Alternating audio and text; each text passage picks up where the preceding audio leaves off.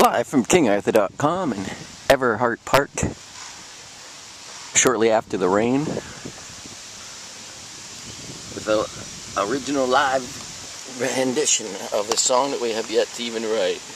You're going to watch it as it happens, right before your very own eyes, hopefully.